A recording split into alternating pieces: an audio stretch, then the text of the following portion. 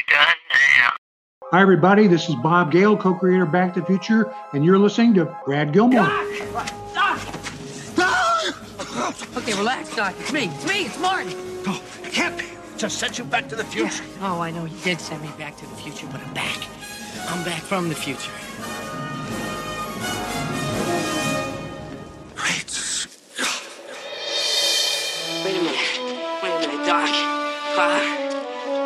Are you telling me that you built a time machine?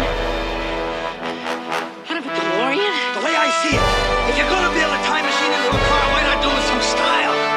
Whoa, this is heavy. Hello, everybody, and welcome to Back to the Future, the podcast, the only podcast looking back in time for the greatest film trilogy of all time, Back to the Future. I'm your friend in time, Brad Gilmore. Here we are, episode two of season nine of Back to the Future, the podcast. Got several in the tuck for you that I know you're going to enjoy. This is uh, part two of my interview with Steve Franks. Steve Franks, of course, he is the creator of one of my favorite shows of all time, Psych. If you haven't listened to part one of our interview, uh, I suggest you go over there and check it out right now so you won't be completely lost here. But again, he um, is a creator of Psych. He wrote films such as Big Daddy. He um, uh, is very successful in the realm of Hollywood. He's a screenwriter, director, musician. Um, just overall, an incredible, uh, incredible entertainer. And um, you you definitely have seen his work one place or another. And um, I just was so privileged to talk to him about films in the 1980s, of course, and um, about Back to the Future. So the first part of our conversation was getting to know Steve a little bit, hearing his background, hearing how Big Daddy got created, hearing how Psych got created, his love for 1980s. This man in his film school class was playing the airport hangar scene from Fletch. Come on, guys. It's all ball bearings these days, right? It's all ball bearings these days. And um, I'm sure future fans also recognize uh, a certain character from that airport hangar scene in Back to the uh, in in Fletch, because in Back to the Future Part Three, that gentleman who was one of the airport flight. Uh, I, I guess well, who was he? He was Stanwyck's. Uh, was he Stanwyck's like personal pilot or was he an engineer? Uh, I don't remember actually, but it doesn't matter. You might recognize him because uh, it was Burton Gilliam who was the Colt gun salesman in Back to the Future Part Three. He was also Alan Stanwyck's uh, flight engineer, private plane engineer in, in Fletch. So it's interesting that Steve Franks chose that scene from Fletch because, of course, uh, we saw Burton Gilliam later on in uh, in Back to the Future Part Three, and one of the main characters of Psych's name is Burton Guster. Look at all the connections I just made. Like seriously, seriously, God, man, that was awesome. Uh, so we're gonna talk to Steve Franks, part two of our interview. If you haven't checked out part one, please go and do so. And also, guys, I um mentioned last week on the show that we have a new podcast home. And part of this podcast, you might hear ads here every now and again, but a lot of the success of this show is going to be based on you leaving reviews on Apple Podcast or Spotify, you know, predominantly, primarily. That's the word I was looking for.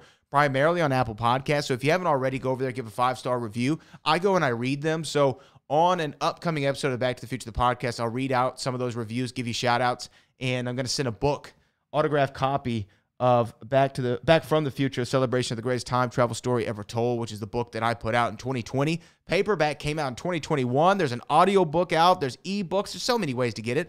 If you haven't gotten that book already, please go and do so. You can get it at backtothefuturebook.com, at uh, oh theboatbradgilmore.com or um, Amazon, Target, Walmart, wherever books are sold. Uh, mango.biz or mango.bz is the home of, of that book as well. And you can get my other book, Bond James Bond, exploring the shaken and stirred history of Ian Fleming's 007. Uh, that is also available in all the same places I just listed. So, without further ado, I say we get to Mr. Steve Franks, part two of our conversation. And this is where we dive into Back to the Future. We talk a little bit about his connections to the film, his favorite of the trilogy, his favorite side characters. There's a lot of future talk here, a lot of future talk. So, uh, and even Christopher Lloyd. So go check this out. This is part two of my interview with Steve Franks on Back to the Future, the podcast.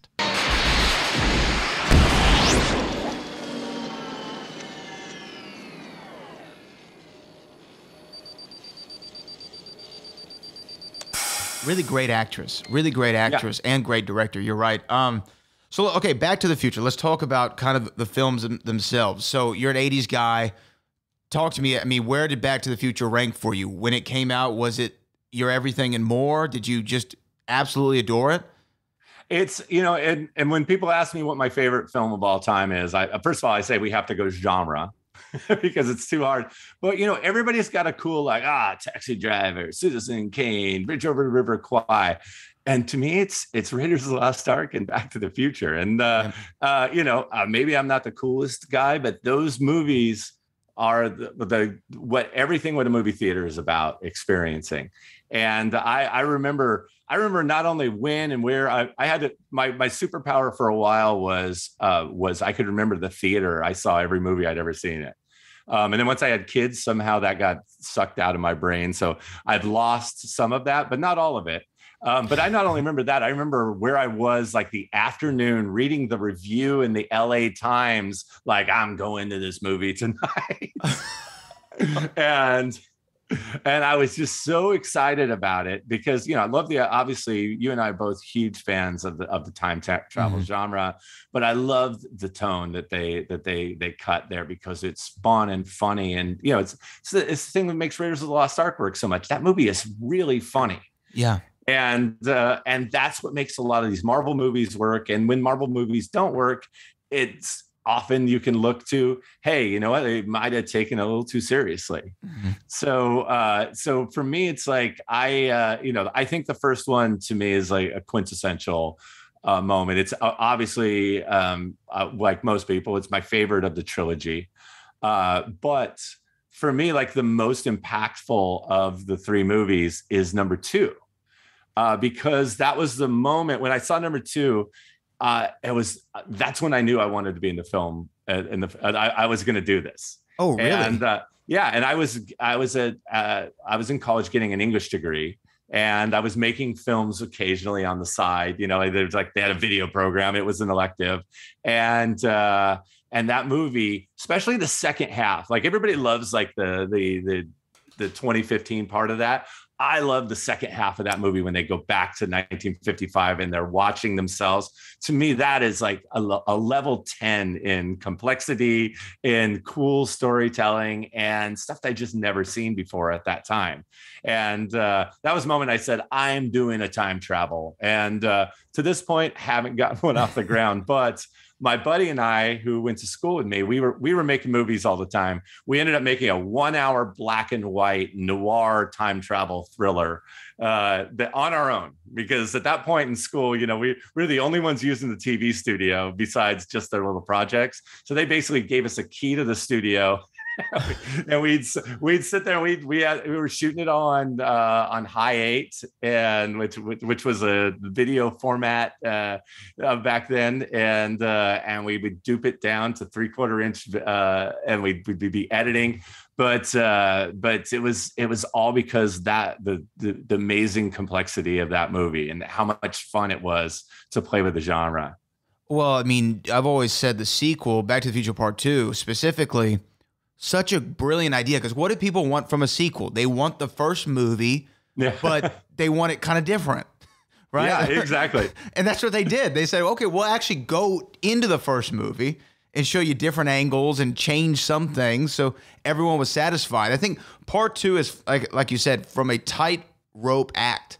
I mean, the fine line that they had to walk to make all that make sense. You're in three different time periods. You have an alternate uh, 1985, and then you can't run into your future self. There's so many uh, plot devices that that bring tension into the movie. I can remember watching it as a kid, and when Doc Brown asks 85 Doc Brown to hand him the wrench.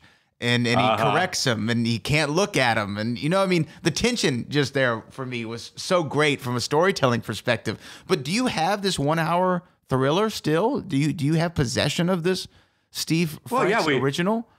We made it, you know, but uh, you know, it was what is it, 1990, 89? I guess we made it 90 because it would have been, you know, production time. Yeah, November '89 is when Back to the Future Two came yeah out. so, yeah so we we compl- we began principal photography yeah late 89 what was so great about what of being uh, you know having a, this sort of tv studio is like you'd, ha- you'd come up with an idea on tuesday and then you'd be shooting on friday you know and the great thing is my buddy my my buddy was a really a- amazing cameraman. So he was great with it with, with the lights and the imagery. And then i was always in the movies not because i was a particularly good actor but i would write them and i would know that i would always be there because i knew i was going to show up no matter what. So that was uh, that was my uh, big thing. So so yeah, I have that. I have that idea too. I have since then. I have I have a time travel idea that I wanted to do on the heels of Psych. We ended in 2014, right. um, and I'm like, oh my god, I'm I've got this time travel idea. Well, the problem was 2015 was coming out, and I thought, well, this is perfect because you know next year is going to be the year that, that they went to the future and Back to the Future. Everybody else had that, so by the time we wrapped the last season of Psych, nobody wanted time travel shows. Like I didn't even pitch it anywhere. and they'd you know they'd sold timeless and whatever all the other ones that uh that went and, and uh so but i am it's it's i have it right here. I have um i keep what i call my slate and uh, it's now third. It's third on the list. I just keep clicking it up uh, to to what comes next. And then uh, until i do something else i it becomes the next thing on the uh, on the list. But it's it's it's my it's the one thing that i haven't got to do and that I that I'd want to do the most because I really want to bring the fun back into time travel because once you start opening too many multiverses and nothing nothing means anything anymore. And they did a really nice job with it in in Spider Verse Mhm. and uh, and and Doctor Strange, uh, but you know I, I think you you have to have a very specific clean line through it and and keep it fun because that's it's wish fulfillment whether you want to change the past or change your future it's it's the ultimate form of of wish fulfillment and you know getting the the sort of metaphor of getting to th- do things over again in your life is something that everybody can identify with And and you're right. The multiverse stuff, you know, in the, the second Doctor Strange movie just came out. I enjoyed it. Um, but you know, the multiverse thing, yeah, you're right. It kind of loses a little bit of its luster when it's like, oh, here's the seventh Doctor Strange of the movie, and what what time frame are we in now, and where is this happening? And and um, I actually thought that you know th- there's some things that you know well, this isn't a Marvel podcast, but there's some things about that movie I wish they would have done differently. Like the first time we see Professor X in an MCU film, and he, you know, I mean, it was cool, but I thought there was just more that could have been could have been done with it. But that's you know neither here nor there. It's not. This is, yeah it's it's playing with fire too and especially to take a character that big and to no spoiler um here to do what they did uh Yeah. with it it's uh, there's going to be a lot of people and i'm not necessarily an x-men person i'm i'm more the the, the straight ahead disney whatever the, the straight ahead marvel yeah. uh, universe, and I'm happy to see the the X Men work into it. But maybe they work on their own. Maybe they work uh, outside their own little universe. You know, I, I wouldn't mind seeing Deadpool in a Disney movie. I don't know how they do that, but just to see how they would pull it off. But you know, you bring up Deadpool. Ryan Reynolds, I think, is perfect for the role. There, no one else could play it. Fletch, perfect for the role. Uh, Chevy, Yeah. I don't think anyone else could play it. I know they have the new Fletch coming out. I think this year, Confess Fletch. Uh, we'll we'll see how that goes. I think it's completely different uh, in tone. Uh, but you know, Marty McFly, Michael J. Fox. I mean, it was just a perfect casting, and obviously it was going to be Eric Stoltz at first, but yeah, can you? I mean, can you have thought of anybody else from that time that would have made sense? no, no, it, Right. it's it's and the fact that they were six weeks in and pulled the plug. You know, and Eric Stoltz is a, a really good actor, but you can't imagine getting that kind of energy. And there's just if if you what you know the the intro to your show that you you play a couple audio clips Mhm. and there's just there's inflections that Michael J. Fox makes that both he and Christopher Lloyd are doing, and there's just this great like complete crazy. It's like it's almost like wrestling energy to it, you know. And they're uh, they they really they they bring it to a, a, a level of of life and energy that that it required because it's of course it's ridiculous but you buy uh, because they're up here you buy it all you know and uh and it's it's hard to imagine you know without gary david goldberg saying all right well you know go sleep in the back of a uh in the back of a station wagon and and learn the lines Yeah. it's it's it's crazy. And then if you ever, I don't know if you ever watched, I'm sure you have. That's this is the most ridiculous. Of course, you've watched the animated show, oh yeah, uh, yeah, of course. But whoever that poor dude they got to try to do Marty McFly was, it's like, uh, yeah, no, you can't. It's he's trying, but it it doesn't it does doesn't work on any level. And then the weird thing too is Dan Castellaneta as Doc Brown. He did Doc Brown. Yeah. Isn't that so weird? it's so strange because Dan Castellaneta couldn't have been that cheap. So I know they could have paid for Christopher Lloyd. Well, and, and the thing about the animated series is they had Christopher Lloyd in the opens and the closes Yeah. of every show. So I, I don't know why you don't carry that over throughout the the character, but The, the other crazy thing about the animated show is that was the introduction to a national audience of Bill Nye the Science Guy. Weird He was fact, like- right? It's like the other guy there, and he's kind of like silent, and he would help them do a, a, an experiment. So, so, so many layers, so much that, that Back to the Future has brought to the world. Oh yeah, a ton. Um, now you say two you thought was very cool in, in the complexity of it. Obviously, one's a perfect movie. What are your thoughts on Back to the Future three? Because when I talked to Chris Lloyd, that's his favorite. Oh, of course, because it's his it's Doc It's Brown's story. story. Mhm. Yeah, and Mary Steenburgen, who's so fantastic in it. I love that movie. I think it's it's a it's a perfect reset uh, to uh, to everybody who thought, "Oh, this is too much. I can't understand what's going on." Because I remember the rub was with Back to the Future. Is like uh, the second one was like, "What is going on? We can't understand all this."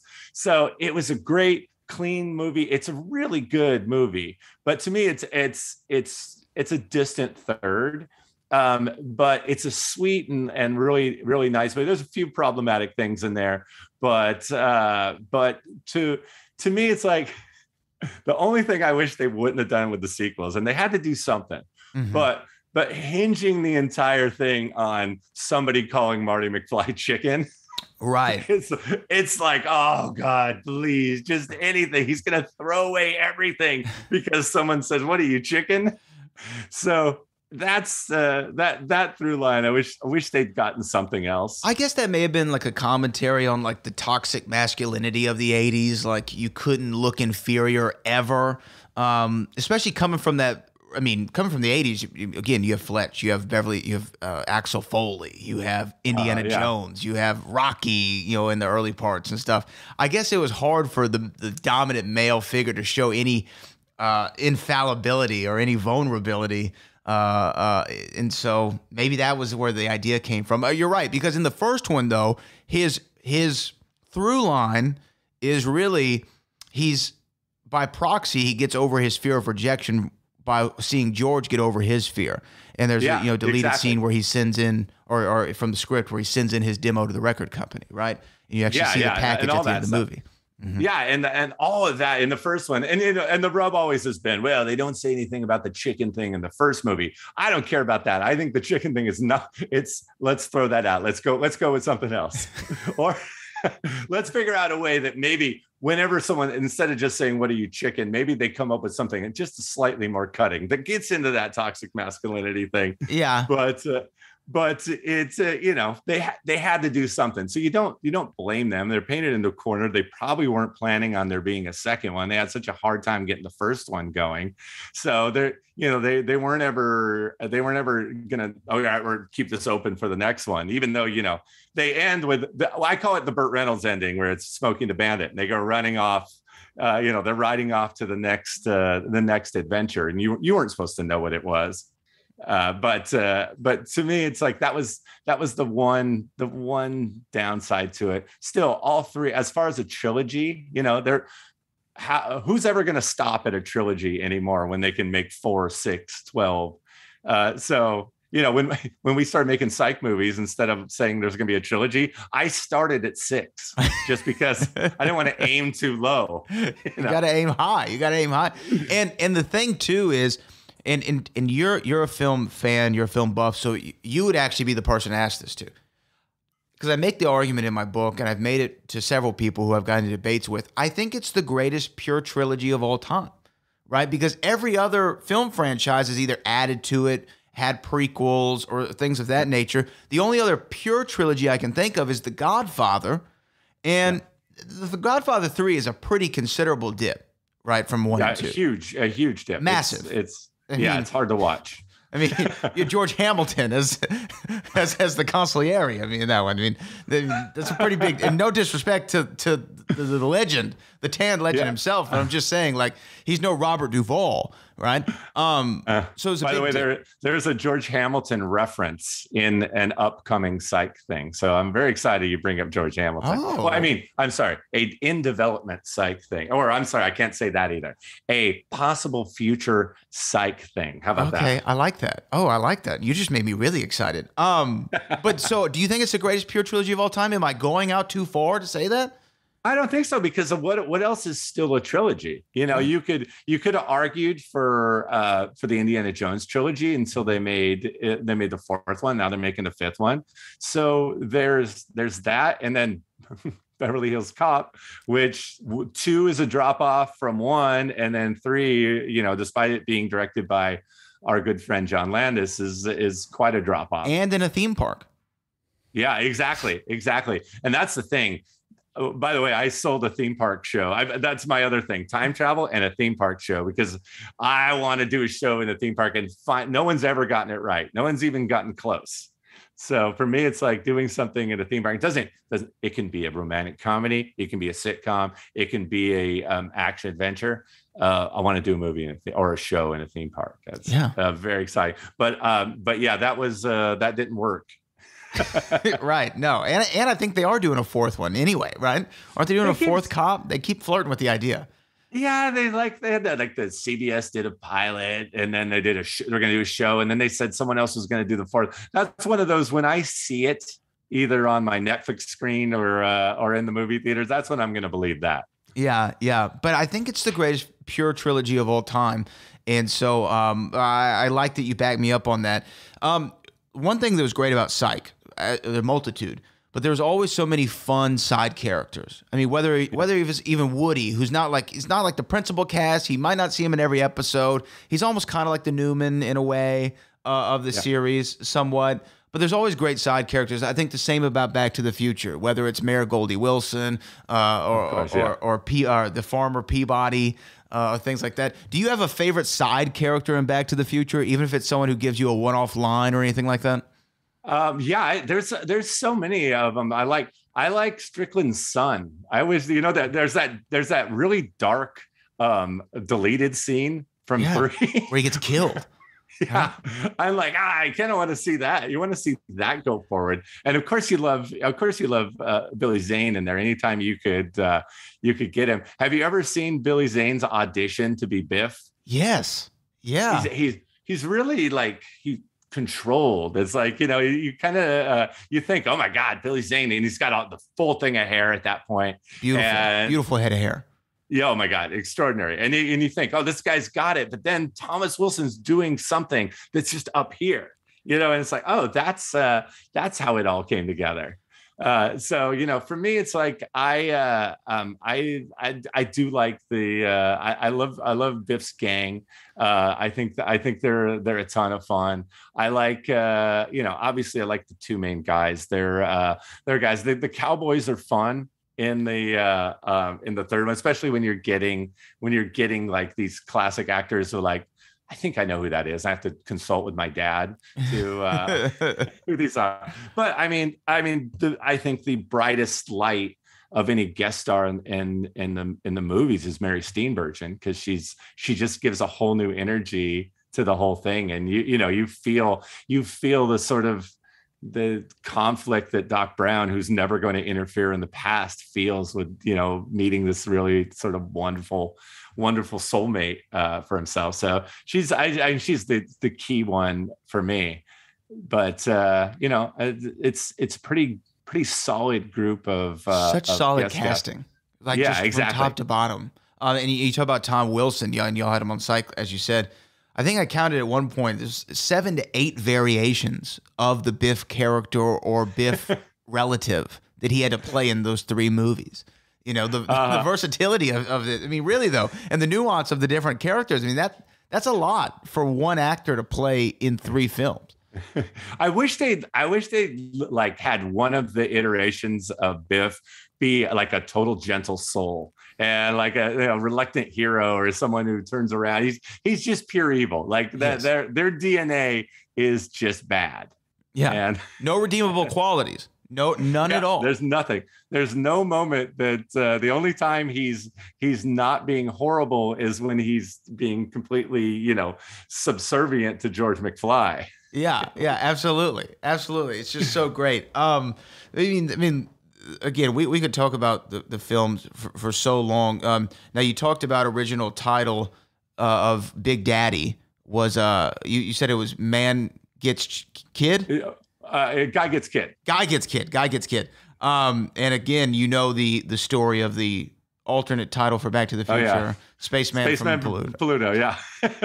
so great uh so great uh in there just imagine what the movie would have been if it was that again and go for it Oh, I just say when they when they talk about you know like having a producer on board, like a good producer. What does a good producer does? That's what a good producer does. He makes Sid Sheinberg like that feel like ah, I was joking. Oh my god, I'm so embarrassed to try to double down on this title that I did.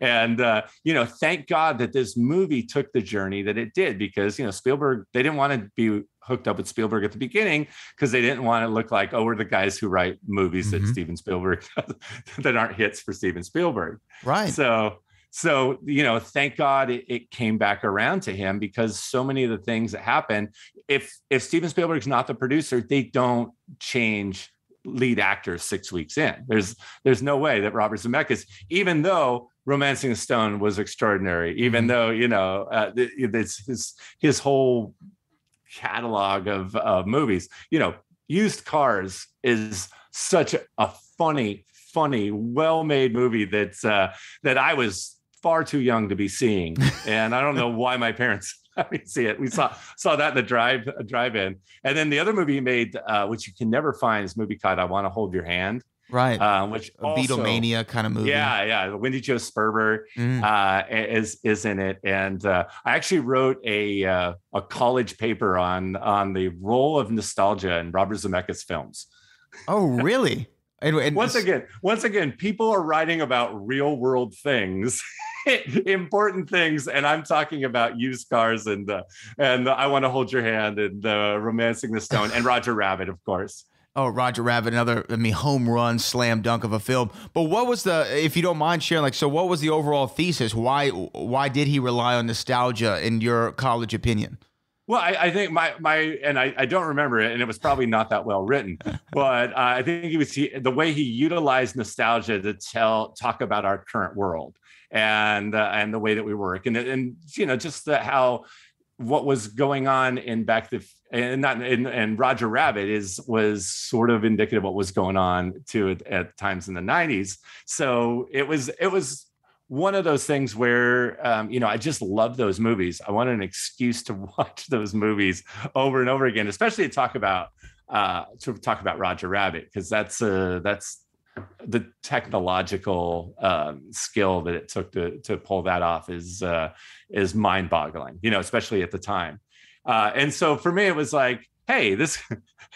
I was trying to find a topic, and I go, all right, uh, but Roger Rabbit in the past. Okay, all right, Back to the Future in the past. Romancing the Stone. Crap. Okay, how do I tie it in?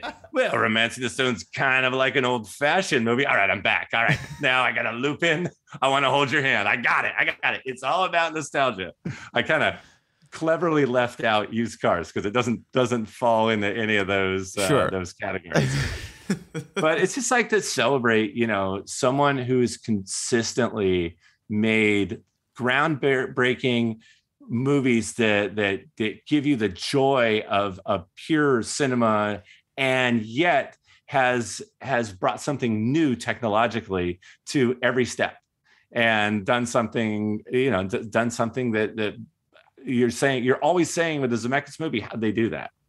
You Yeah. know, so it was, uh, you know, there's there's people that in the business you just like you're so happy to see anything that they've done because uh, even if it doesn't work completely, you're just uh, you want to you see them in their uh, uh, in their productions. Yeah. Oh, and and he's somebody. I mean, even you go to Back to the Future Part Two. I mean, the having Michael J. Fox play with himself in the same scene and having to build the camera. And then there was an earthquake on set. They had to make sure everything was, you know, uh, not moved too much or screwed up all the production. He's always been an inventor. Um, and that's why it's always been great to, to watch his movies. Um, a, a few more things for you, Steve. I mean, I literally, I think we could talk all night, but I don't. We could, and I, and you know what? Here's the problem: I will talk all night, so you need to stop me. So I've I've a few few more things for you. Um, speaking speaking of Back to the Future Two, how long did it take you to realize it was a different George McFly? Um, well, I well, unfortunately, it's a little inside baseball for me because I read about the problems they have with Crispin Glover and all that stuff. I thought it was a pretty genius idea to put him upside down Yes. since you can't uh, since you can't tell. But uh, I really that's one of, uh, once again it was one of those things that I'm sure they could have worked it out. I- They'd gone back one more time and just say, "All right, this is the deal," you know. And uh, you know, it was it was unfortunate because he he gave so much to those movies. I mean, obviously. There's not a lot for the poor guy who had to replace him Mm-hmm. uh, to do in the in the movie. But uh, whatever they would have done had they actually had Crispin Glover in there, probably would have been um, another another notch higher for uh, what they've done. But yeah, uh, to me it was like even though he was upside down, I I but I already had the information, but I I knew completely that it, it wasn't him. I think just me growing up is you know watching him as a young kid, you don't realize it until you're much. I didn't even realize that they changed Elizabeth Shue or Claudia Wells went to Elizabeth Shue forever for the longest time. I didn't. It didn't clock with me. Uh, But by the way, Claudia Wells is my favorite Jennifer. So, uh, and I'm a huge Elizabeth Shue fan. Uh, I, I love her, but uh, but Claudia Wells was the thing, and uh, you know, obviously she had. She, she's like, was her mom sick or something? Yeah, and mhm. uh, so she she went to do the right thing, but uh, but she, you know, the, and once again, the, you know, the the the Bobs always say that if they knew they were going to do a sequel, they never would have put Jennifer in the car, and they just they're so determined to to put her in an alley or into a closet or something. I, I the one thing I wish they'd done, I wish they would have just embraced it and figured out a way for her to be right in the middle of the action. I mean, now you can kind of see how uh, the way they do. I'm I'm sure they were terrified by the schedule, shooting two movies back to back for Yeah. the first time. You know, all of that. It's like, hey, we need to be able to to handle a schedule. Uh, but I wish they'd done a little bit more with her um, once they go to 2015. yeah, because Elizabeth Shue doesn't really have a whole lot to do in any of those movies. Like She faints a lot. She's just there. Yeah, she's fainting or she's sleeping in an alley or on a porch that doesn't belong to her. Like there's something like that going on with her. we got Elizabeth Shue, and we're gonna have her pass out and uh, And then not show come her on screen for 30 or 40 minutes. It's a great idea, you know, great idea. Um, but I'm with you. Claudia Wells is just, um, and, and two, like, just to put it into superficial terms, in 1985, I mean, she's breathtaking on screen. When you see her uh, cheering yeah. Marty on, she's just like 10 out of 10. Beautiful. Yeah, and she just she feels, you know, she, you know, as much as Michael J. Fox feels like he's a high school senior, she she she fits with him, you know, Right. in the in the same way that uh, uh, that you would would would have hoped. Uh, poor Melora Hardin, who um, was too tall. I know. I know. Can you imagine? Probably is that something that you've ever had to deal with?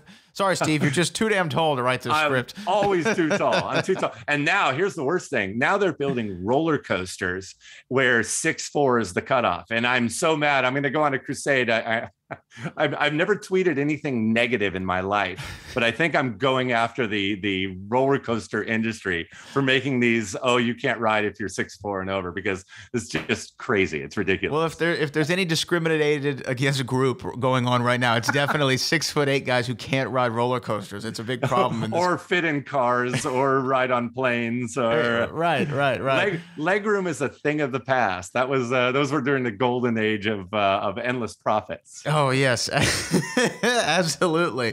Um, you know, when I got to uh, speak for to James and Dulé uh, for Psych Two, we did an interview for Psych uh, Psych Two. Lassie Come Home. Um, obviously, I, I brought up Back to the Future and the time travel story. James did say like it was on the board for a long time, and it's something that you confirmed. Was there ever a germ of an idea of okay, here's how we can do it?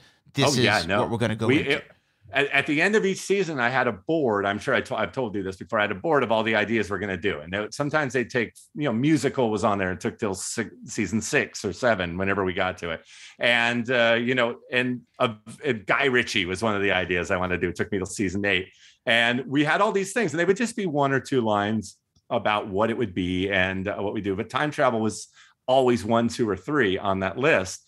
And we would open it up, and it's always like, okay, a guy comes back and uh, dead guy, and he's wearing clothes from the 20s. All right, now what do we do? And we can never come up with a satisfying enough resolution to it without them actually traveling through time. so it was like, no, no, and we push it off. Oh, we'll get it next year. Oh, we'll get it. We'll get it next year. And we never quite nailed it. I mean, we had a we had a full outline ready to go, and uh, and, and we were we started to write it, and we realized this isn't going to work. So uh, you know, and we we were good about pulling the plug when we had to.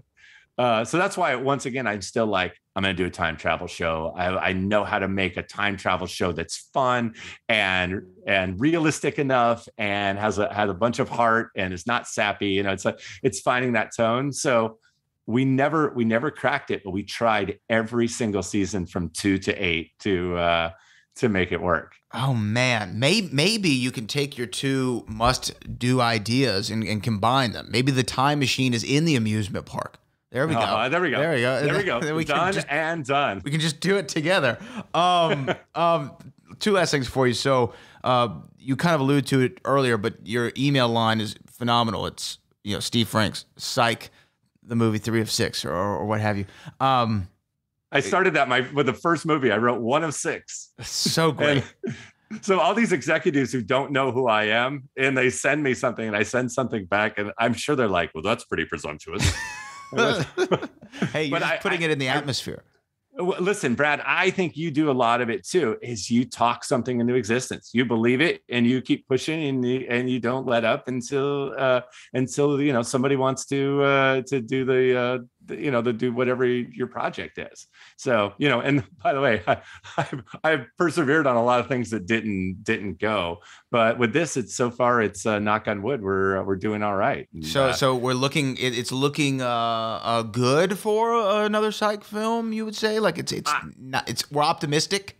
We're we've done good. really well uh, and we moved to the peacock um, and we've done well there and the library does really well there. So it's all about you know th- this whole netflix thing that happened last week is netflix needs the you know franchises. And uh, and I, I i i wince a little bit when i say that psych would be a franchise. Mhm. but we are in a in a in a in our in our own silly way uh, and you know that's the kind of thing that drive people back and you know and and to have something that makes people go back and watch the shows. The movies are so um, reflective of what happens on the show. There's so many hidden things that you'll find going back to the episodes and and all that. And so um, four uh, I'm, i feel pretty confident with four. I my email signature is four of six. If we get to five i'm going to change it to five of nine just to uh, maybe i'll go five of eight move it to five and nine but i did that right from the pilot i'm sure i told you this story but i'll repeat it for uh, and people can just turn me off now if they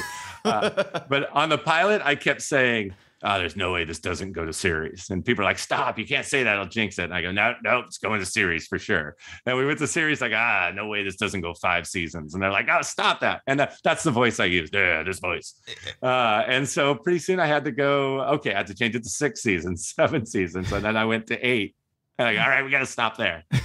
we're, we're pushing it too much. So yeah, with the movies, I'm like six six movies. Let's do them. Let's do Uh, it. Let's do it. I mean, it, it makes me happy just as, as a longtime psych fan. And if you ever need somebody who has hair that compete with James Roday to play a Yeah. background uh, character, you know, you know where to find me. Uh, I, I I know. I'm, I'm I'm making my way down to Houston now. Yeah, exactly. um, um, okay, last question. You have the DeLorean time machine. You're getting in it. What date are we putting in? Are we going forward? Are we going back? Like I know you have you of all people have probably thought about this. You know, so you have the time machine, it's yours. Where are we going? I'm going back. I'm going back to the 1930s. Uh, I love the 1930s. Uh, it's a it's a cool time. I don't want to go back in time to like try to kill Hitler because you know I couldn't. I could never get to Hitler. Right. You know, how are you going to get It's to like- it? Yeah, You're six foot exactly. eight. They're It's going to like, see you coming from a away. yeah, I, I tell someone else, hey, you should do you should you should do it, but I'm not gonna I'm not gonna be the guy that pulls it off.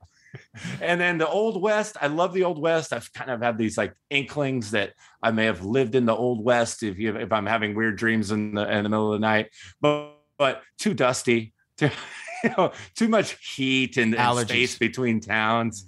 Yeah, uh, too much dysentery in the Middle Ages and and all, all that sort of stuff. So I think I would- I think I go back to the 30s because it seems like I have just enough modern stuff and uh, world's evolved a little bit, uh, Right. but uh, you know it's not it's not the 40s. You're you're just in World War II.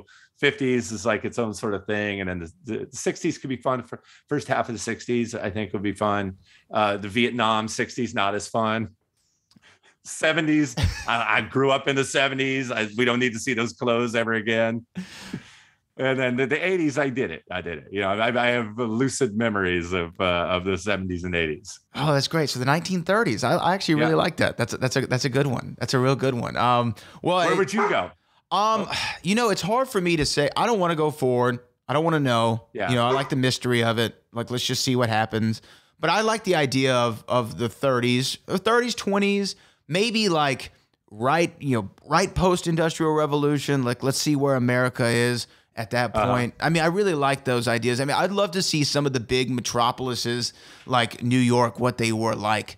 You know, Yeah. right there. I mean, my grandparents were born in the 19 teens and 1920s, so to kind of get to see what the lives that they lived, um, you know, that'd be fun for me. You know, Yeah, no, absolutely. Yeah, go to the World's Fair in Chicago. Yes. Yeah, turn of the century would be or go go to go see when Mr. Lincoln was unveiled. You know, at, at the fair with Walt Disney, shake the man's hand and and see where this uh, idea comes from a, a couple of years later for his his you know wonderful world. Right? Yeah, yeah, no, no. That I'm a, I'm a, above all. I, I love the the old Walt Disney. Uh, um, I, I've read a lot of biographies of, of Disney and love that sort of. I love the, all the stuff that he was trying to do in the 60s before he died because I think he was he was on the verge of something extraordinary. I think the world the world was only uh, the, the world was only big enough for that many years of him. So uh, yeah, no, you're 100% right. I mean, this is a guy who was operating on a different level. He really was than everybody else as far as creative thinking and, and creative solutions to problems. Uh, I mean, Yeah. you read, I read several books about Disneyland, the, the making of it, and Disney World, and just the problems that he was able to solve was just making these theme parks and. uh, even opening day, how much of a uh, how horrendous it went uh, in a large part. You know, it's just he phenomenal person.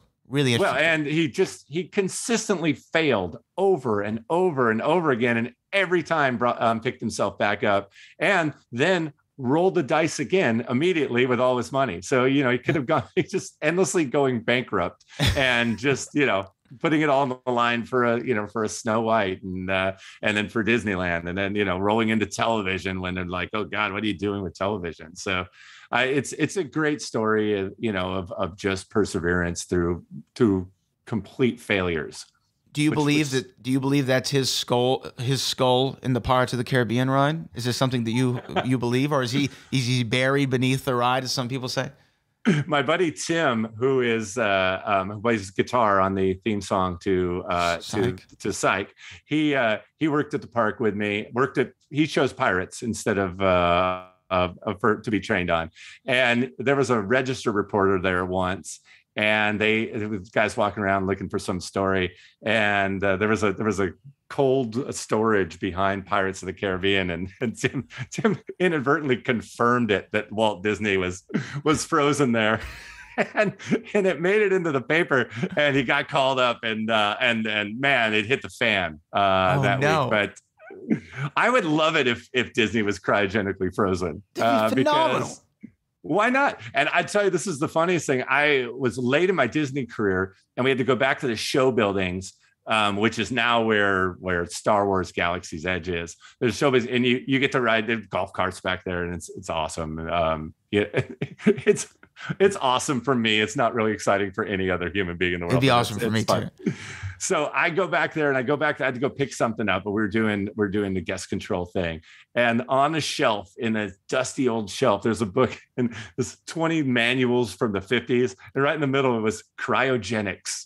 And I'm like, No. like this is either the discovery of a lifetime or somebody is funny as hell, and it's been there since 1972. But I, love I love finding that book. It made me so happy. I love that too. I love that, and I love your Indiana Jones pinball machine and your Oh, yeah. incredible, incredible conversation. Um, again, Steve, it, it, it's just such an honor to talk to you. Psych is so near and dear to me as it is to millions of people out there who love the show. It's my comfort food uh, for television. I think I've seen every episode a dozen or more times, probably more No, than that's- that. So That's uh, too many. it, no, it's not. It's not enough. It's not enough. Uh, Um, it's not enough. And uh, your, your favorite psych episode, I guess, is it? You know, every, all the cast seems to say last night Gus. Everybody seems to say last night Gus. I, to me, I like I like. Well, I have to once again I have to do categorize them. Sure. For my experience, from my experience, I love doing the musical. It was the greatest Oh, dream of my lifetime, getting to write those songs and and do all that.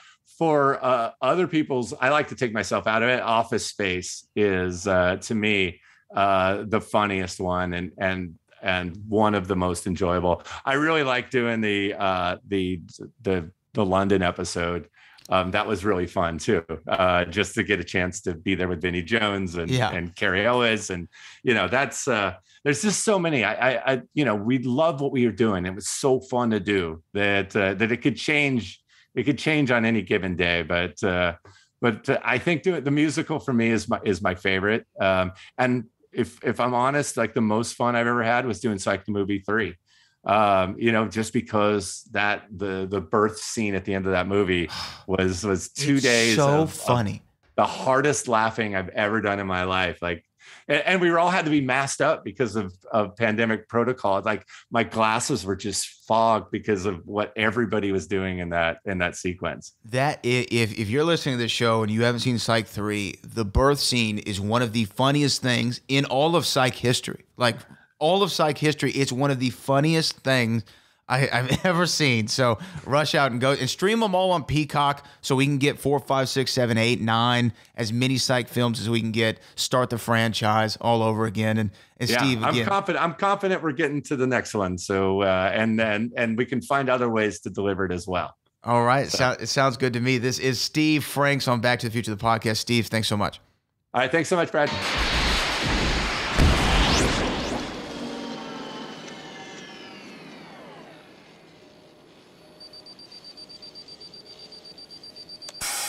So there he was, Mr. Steve Franks, just a phenomenal, phenomenal guest on Back to the Future the podcast, the perfect guest, in my estimation, to be on this show. Want to give a big shout out to him and make sure you go support all the psych films that are on Peacock, the streaming service from NBC. We have a great show next week. Allison Robicelli, the person who wrote the cookbook for Hill Valley, will be joining us on Back to the Future, the podcast. Until then, I'm your friend in time, Brad Gilmore. This is the only podcast looking back in time's greatest film trilogy of all time, Back to the Future.